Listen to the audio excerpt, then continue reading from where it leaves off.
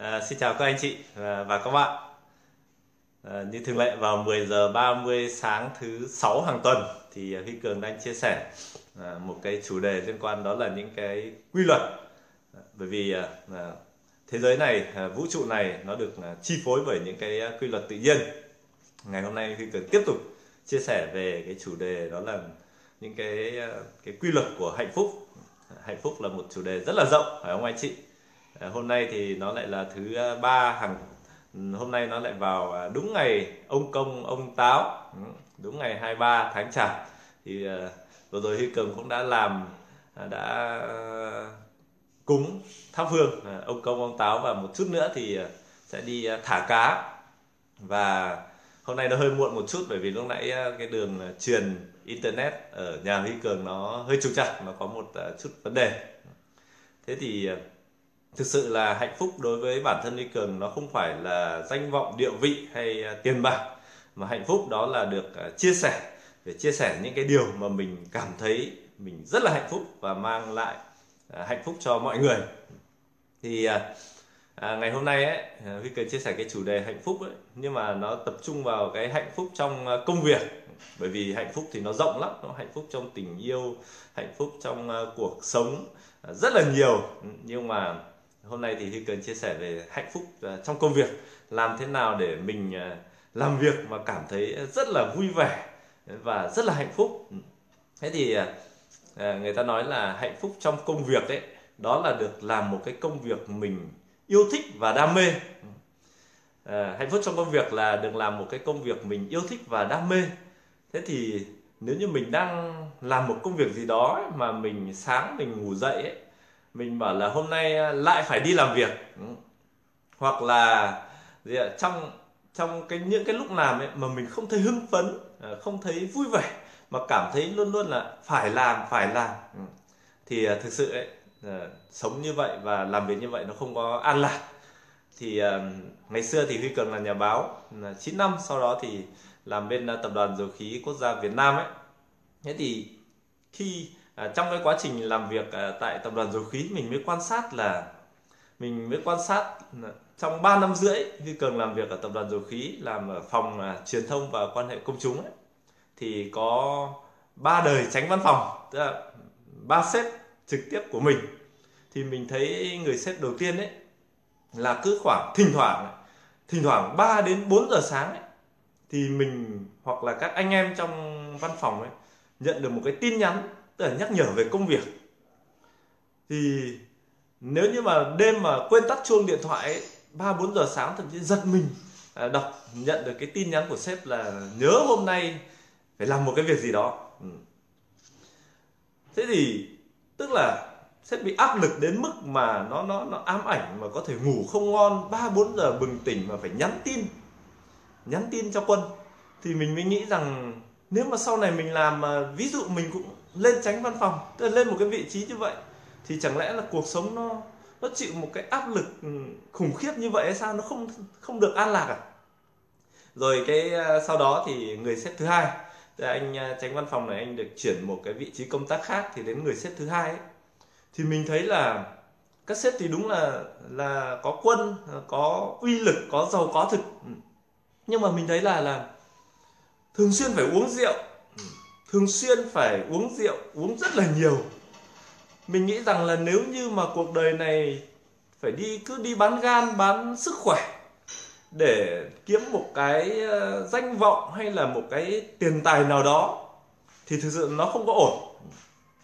Và đến cái người xếp thứ ba, và người xếp này thì chính huy cường phải quyết định cho mình để mình thay đổi, để đi tìm một cái con đường đi tìm hạnh phúc thực sự trong công việc. Cái người sếp thứ ba này ấy, là là anh ấy chịu áp lực đến cái mức ấy mà anh có vấn đề về tim mạch phải đeo thường xuyên đeo cái máy trợ tim thường xuyên đeo cái máy trợ tim ở trong trong trong trong lồng ngực. Thế thì chẳng lẽ cuộc đời mà chỉ vì uh, danh vọng địa vị chỉ vì kiếm tiền mà rồi một ngày nào đó mình cũng phải hình ảnh mình nhìn thấy cái hình ảnh của mình trong tương lai sau 5 năm sau 10 năm mà mình nghĩ đến một cái hình ảnh mà phải làm một công việc mặc dù có rất là nhiều thứ tuyệt vời nhưng mà phải đeo cái máy trợ tim hoặc là phải uống rượu rất là nhiều hoặc là ban đêm bừng tỉnh phải nhắn tin cho quân thì nó thực sự là không là ổn. Chính vì vậy ấy, mà huy cường quyết định thay đổi quyết định à, đi tìm hạnh phúc thực sự trong công việc của mình. Và người ta nói là khi mà gõ thì cửa sẽ mở và khi tìm à, thì sẽ thấy đúng không? đó là một cái điều rất là vui à, chính vì vậy mà nếu như chúng ta thực sự mà mong muốn có cái hạnh phúc trong công việc ấy thì tìm làm sao tìm được một cái công việc mà mình thực sự mà sáng bước ra khỏi nhà ấy, mình đặt câu hỏi là hôm nay mình được đi làm hay là phải đi làm rồi khi về trong cái công việc luôn luôn cống hiến thể hiện được hết những cái nhiệt huyết những cái đam mê của mình trong công việc thì đó là một cái công việc nó thực sự là hạnh phúc.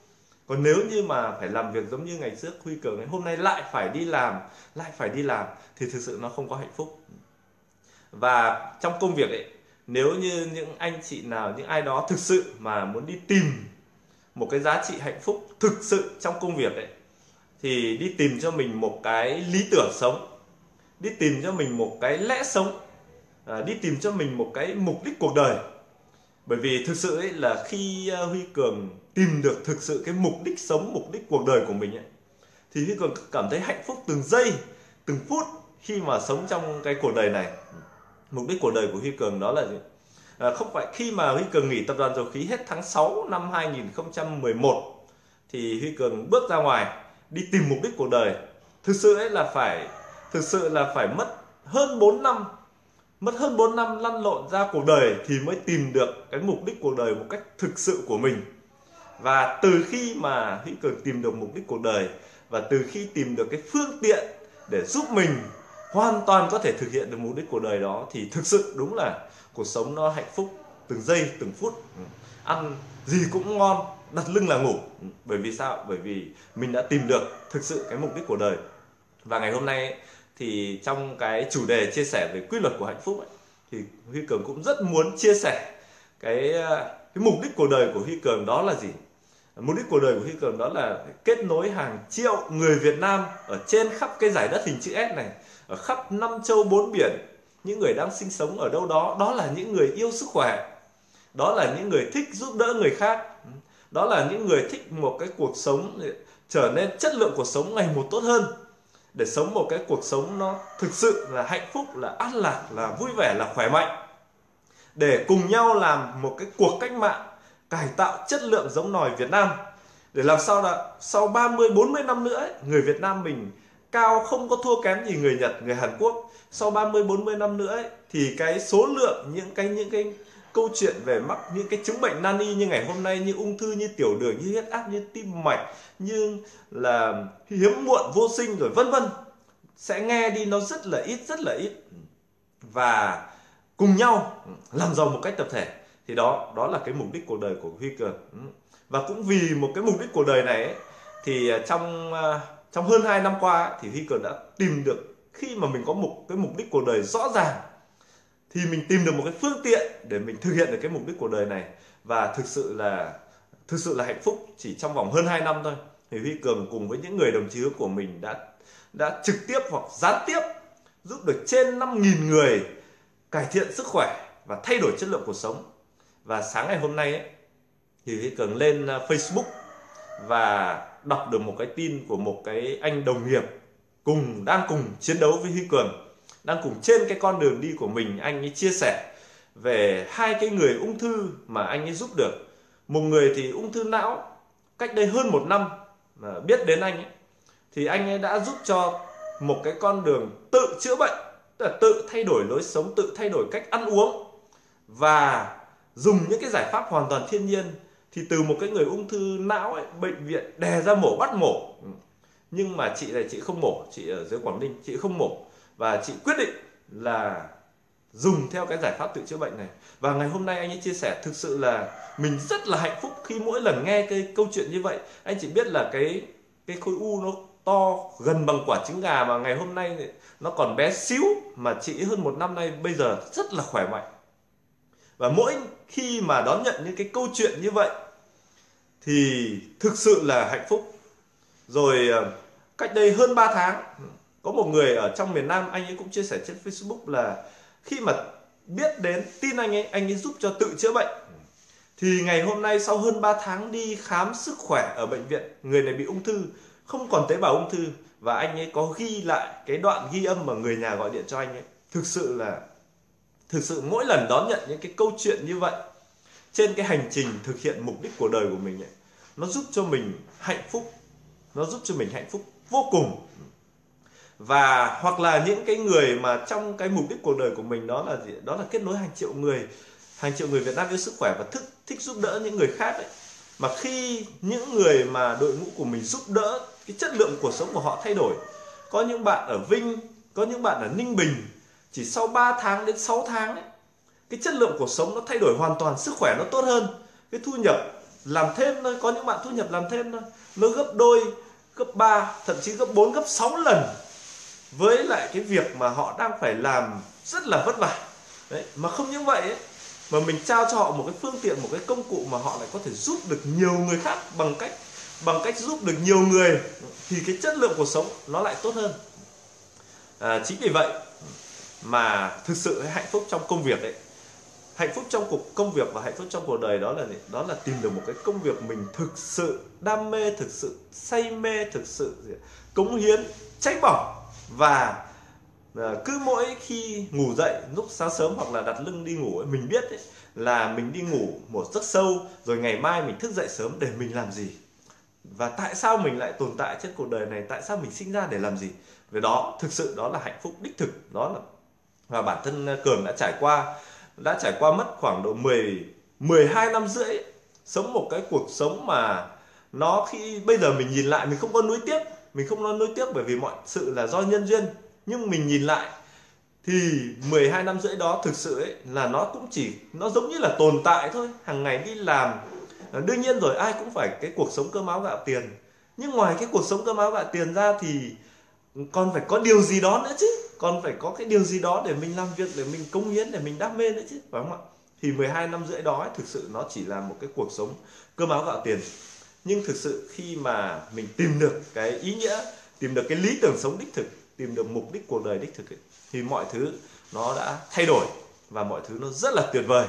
Thì uh, chuẩn bị bước sang uh, năm 2017 âm lịch tức là hiện nay năm dương lịch thì chúng ta đã gần kết thúc một cái tháng đầu rồi. Thì uh, chúc cho anh chị làm sao tìm được một cái công việc mà mình thực sự yêu thích và đam mê hoặc là tìm được một cái mục đích cuộc đời hay tìm được một cái lý tưởng sống, một cái lẽ sống của mình. Để mình sống không phải giống như là tháng 1 là tháng ăn chơi, tháng 2 cờ bạc, tháng 3 rượu chè. Nếu mà một năm ấy, mà một năm có bốn quý mà nó lại mất mất cái tháng gần, cái tháng gần Tết ấy, là đã làm rất là nhiều những cái công việc mà nó gián đoạn rồi. Rồi lại xong lại đến tháng 1 là tháng ăn chơi, tháng 2 cờ bạc, tháng 3 rượu chè.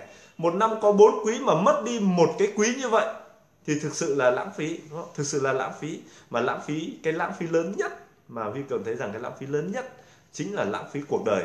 Sống một cái cuộc đời mà nó không có ước mơ sống cuộc đời nó không có khát vọng sống cuộc đời nó không có mục đích sống rõ ràng sống cuộc đời nó không có lý tưởng sống không có lẽ sống thì thực sự là đáng phí. Thế thì những anh chị nào những người bạn nào của huy cường mà cũng đang đi tìm trên cái con đường hạnh phúc trong công việc hạnh phúc trong cuộc đời ấy, thì chúc cho anh chị tìm được cho mình một cái một cái ước mơ à, tức là tìm được cho mình một cái công việc một cái công cụ nào đó để có thể thực hiện được ước mơ hoặc sống có những cái ước mơ những cái hoài bão cháy bỏng để có một cái cuộc sống nó đúng nghĩa với bản thân của mỗi người. Ừ. Và đặc biệt là nếu như ai tìm được những cái lý tưởng sống những cái lẽ sống ấy, ừ, giống như Hồ Chí Minh ấy, giống như Bác Hồ đúng không? Bác Hồ có lý tưởng đó là gì? Đó là tìm một cái con đường để giải phóng dân tộc để ai cũng có cơm ăn áo mặc, ai cũng được học hành. Và khi Hồ Chí Minh, khi Hồ Chí Minh tìm được cái ờ, lý tưởng sống, tìm được lẽ sống, tìm được cái con đường đó, thì ông đã tìm bốn người cùng với ông, đó là bác Đồng, bác Trinh, bác Giáp, bác Duẩn, đúng không? Chỉ có bốn người cùng với Hồ Chí Minh đã làm nên một cái cuộc cách mạng và giúp cho chúng ta có được ờ, độc lập, sống trong một cái đất nước hòa bình như ngày hôm nay. Đó là một cái tấm gương ờ, rất là lớn và Huy Cường à, chúc cho à, tất cả anh chị em cùng gia đình bước chuẩn bị. À, ngày hôm nay ấy, thì trong một cái à, Tết ông công ông táo vui vẻ đầm ấm hạnh phúc và chuẩn bị đón một cái Tết à, âm lịch một cái à, Tết cổ truyền vui vẻ ấm no hạnh phúc. Và đừng có uống rượu đừng có tàn phá sức khỏe. Những ngày nghỉ Tết ấy, là những ngày nạp lại năng lượng cho mình. Nạp lại năng lượng sống để có một cái nguồn năng lượng dồi dào nhất để sau những cái dịp nghỉ Tết mình lại bắt đầu thực hiện ước mơ, thực hiện lý tưởng sống, thực hiện khát vọng sống của mình. Và đó là những cái điều mà Huy Cường rất là hạnh phúc khi chia sẻ với tất cả những người bạn của mình ở trên khắp quả địa cầu này, trên khắp giải đất hình chữ S này chỉ với một cái mục đích cuộc đời, đó là kết nối hàng triệu người Việt Nam trên giải đất hình chữ S và trên khắp năm châu bốn biển. Đó là những người yêu sức khỏe, muốn sống một cái cuộc sống khỏe mạnh. Đó là những người thích giúp đỡ người khác ừ, để cùng nhau là một cái cuộc cách mạng cải tạo chất lượng giống nòi và cùng nhau làm giàu tập thể. Và ngày hôm nay, cuộc cách mạng công nghiệp 4.0 cho phép chúng ta có thể siêu kết nối và có thể hoàn toàn làm được cái điều đó. Huy Cường có một niềm tin vững chắc như vậy. Xin chào và hẹn gặp lại tất cả những người bạn thân yêu của mình. Tạm biệt à, các anh chị và các bạn. Hẹn gặp lại anh chị và các bạn vào 10 giờ 30 sáng thứ ba tuần sau. Huy Cường sẽ chia sẻ cái chủ đề vào 10 giờ 30 sáng thứ ba là Huy Cường chia sẻ cái chủ đề đó là cái con đường làm sao từ một chú tí hon trở thành gã khổng lồ. Và xin hẹn gặp lại các anh, các chị và các bạn, những người bạn thân yêu của Huy Cường